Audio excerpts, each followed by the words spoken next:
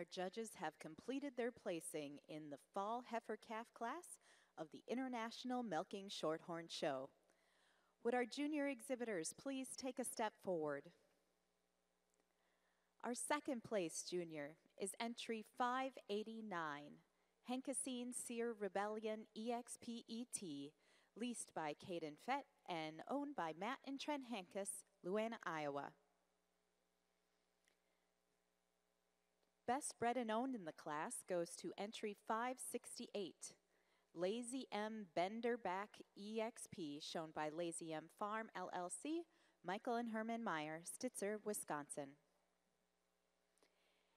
Third place in the class, entry 578, Mole Hill Lars Marin Monroe EXP, shown by M. Gregory M. Upchurch and BNS Ferry, Hebron, Illinois.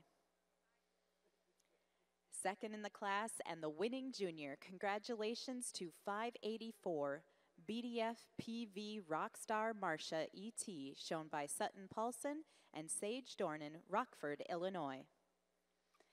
And in first place, entry 567, Landsbrook KNH Chili Pepper, shown by Peter Vale, Englewood, Florida. Congratulations. Judge Sparrow, your comments.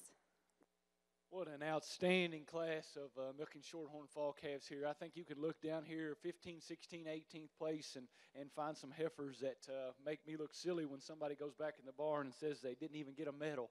But uh, the top 10, I think, is where it really gets close.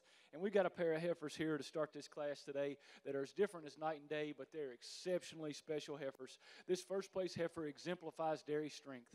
She's a heifer that's got that width to the chest floor, yet femininity over the shoulders, wide back through the rump, walks on an exceptional set of feet and legs, tremendous drop to that rib section.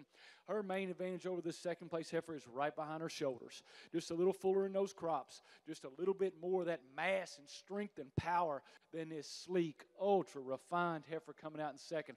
Second place heifer just blows you away with this femininity, clean cutness. She's got such a long neck, just a beautiful, stylish heifer. Just lacks that mass and substance to get up in the top spot today. But she does use her advantage in rear legs to go over a third place heifer. Third place heifer, I told the young man from the hooks forward, she wins this class. From the hooks back, the reason she's in third. Uh, if you could change that rear end a little bit, um, you could probably get her up in that top spot. But if you could change me to seven foot tall, John Calipari might have called me. She does have so much more drop to that rear rib than this fourth place heifer. In addition, I think uh, she's just got a little bit more width back to that rump. Fourth place heifer is an exceptional heifer. You love the stretch and length of body she's got, and it is that length of body that takes her over uh, these two junior heifers coming out in fifth and sixth. An exceptionally close pair of heifers. Both heifers, I'd really want to change them about the rear legs. They don't float quite as nicely.